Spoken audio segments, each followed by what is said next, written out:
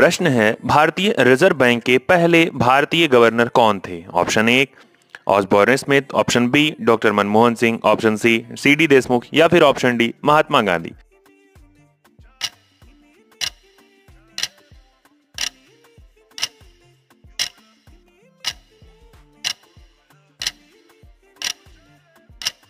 सही उत्तर है, सी डी देशमुख। यही भारत के पहले भारतीय गवर्नर हुआ करते थे, रिज़र्व बैंक ऑफ़ इंडिया के।